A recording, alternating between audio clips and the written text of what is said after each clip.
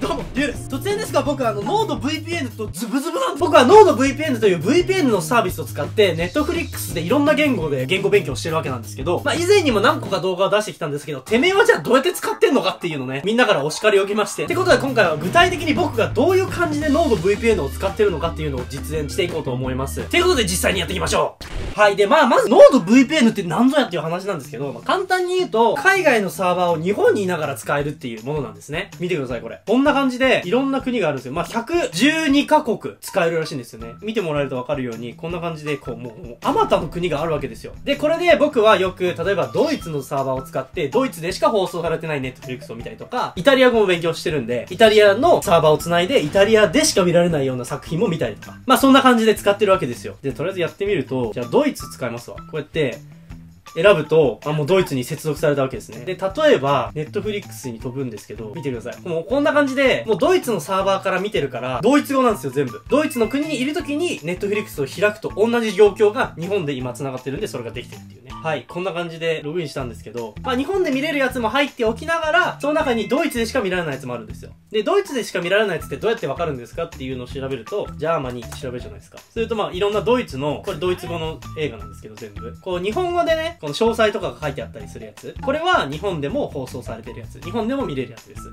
一方で、例えばこれとか、説明文が英語のやつがよくあるんですけど、こういうのはその国でしか放送されてないやつ。そういう見分け方があると。まあ、これもイタリアも一緒で、イタリアにしますね。で、イタリア、イタリア、イタリアンでこれ接続すると、今、イタリアに接続されましたね。こんな感じで。こんな感じですね。これ多分これもイタリアでしか放送されてないやつですね。説明が英語のやつは基本的には海外でしか見れないやつ。つまりこれはイタリアでしか見れないやつですね。まあ、こういうのを僕はイタリア語だったらイタリア語字幕、イタリア語音声で見ながらやるわけですよ。で、ドイツだったらドイツ語音声、ドイツ語字幕で見ながら勉強するみたいな。まあそういう感じですね。これが僕がメインで使ってるノード VPN の使い方ですね。で、おもろいのが、まずヨーロッパのサーバーから繋ぐ何がいいかって、フレンズが見れるんですよ。フレンズこう、こんな感じでフレンズが見れるわけですよ。全シーズン見れるわけですよね。とかとかとか。あとは、たまに、まあ、息抜きで、見てください、これ。ジブリですよ。これすごないですか？魔女宅でしょ？ラピュタでしょ？もののけ姫。ハウルの動く城。しかも、これはあれだ。国立小坂から。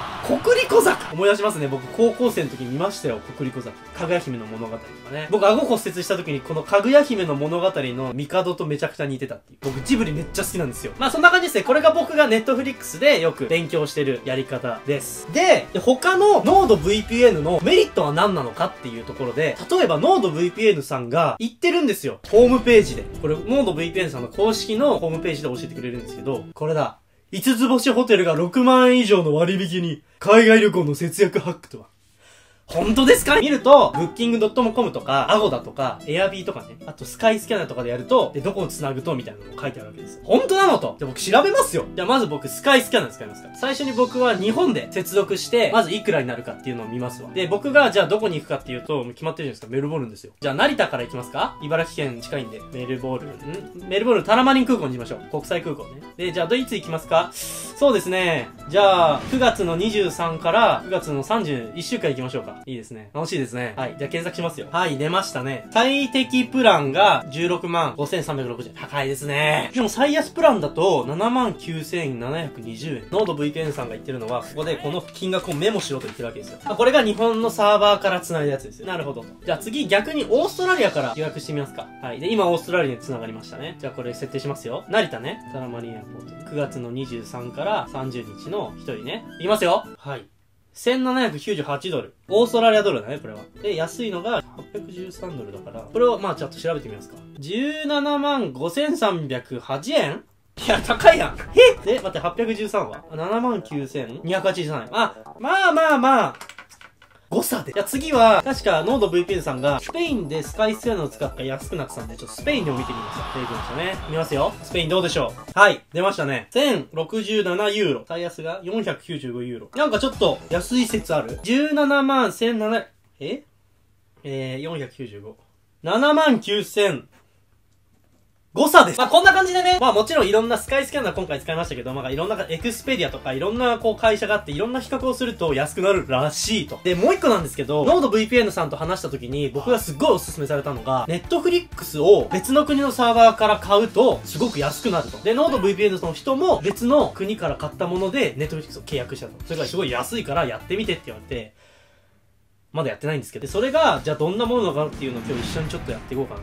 一つであったのが、トルコで契約すると安くなるっていうね。まあ日本と比較すると、トルコだとスタンダードプランが920円で見れると。で、日本は1490円と。僕は1490円で今見てるんですけど、まあ確かに安くなりますよね。で、このやり方をちょっと見ると、1、ノード VPN などの VPN でトルコのサーバーに接続します。ネットフリックスにアクセスして、まあメールとパスワード設定します。料金プランを設定します。ここまではいいんですけど、決済方法を選択するのところで、海外用ギフトカード G2A などで購入するのがおすすめって書いてあって、もうここで僕はもうメンタル折れるわけですよ。で、まあ、かん、ちょっと説明すると、G2A っていうのはギフトカードらしいんですよ。で、簡単に言うとその G2A っていうものをトルコリラで買って、トルコの通貨ですね。買ったギフトカードを使ってネットフリックスを買うみたいな。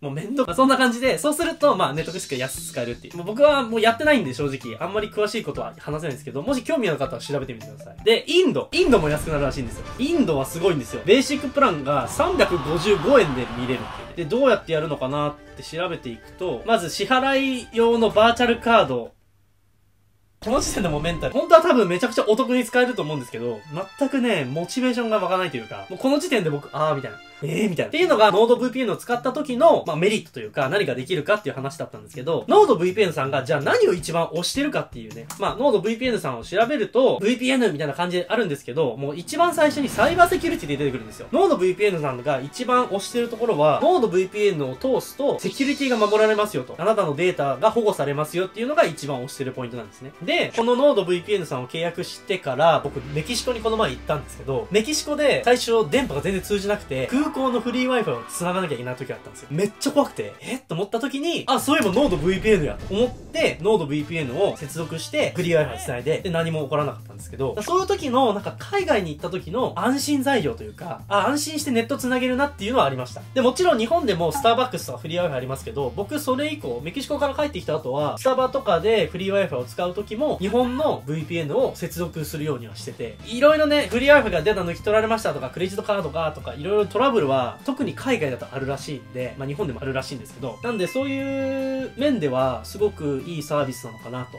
思います。で、じゃあどうやって購入するんだっていう話なんですけど、僕のなんかリンクがあるんですよ。クーポンコード茨城っていうリンクがあるんですけど、前回あげたやつがこれノード VPN さんのやつなんですけど、ここのリンクがあるんですよ。で、これ茨城ってクーポンコード入ってるんですけど、これから飛ぶと、もうすでに割引された状態で、まあノード VPN さんが買えますよっていうね。で、これお得に購入っていう。はい。540円。これが価格です。ノード VPN さんの価格。一応これ2年プランなんですよ。月々540円で2年間使えますよっていうプランで、僕はスタンダードプランを使ってるんですよ。まあこう73%お買い得って書いてあって、もうなんか、意味わかんないくらいなんか割引されてるんですけど、で、まあ今すぐ購入っていうのを押すと、こんな感じですね。やばくないですか？なんか56,280円が1万5000円になってるみたいな。すごいな。はい、なんでこの動画の概要欄にも同じリンクを貼っておくので、もし興味がある方いたらそこから飛んでみてください。まあ VPN で僕は半年くらいかな、ドイツ語ずっと勉強してて、結構いいなって思うのと同時に、飽きないなってネットフリックスが。僕は正直ネットフリックスのためでしか使ってないんで、あんまり使い方上手じゃないので、興味ある方はやってみてくださいい。という感じでした。今回の動画はちょっと全然あの、普通に紹介させていただいたんで、まあ次回からね、いろんな動画、もうほんと溜まってるんですよ、今。編集しなきゃいけない動画が溜まって、それを来月とかね、いっぱい出すんで、本当にお願いします。皆さんごめんなさい。次からちゃんと動画上げますんで、よろしくお願いします。ではまた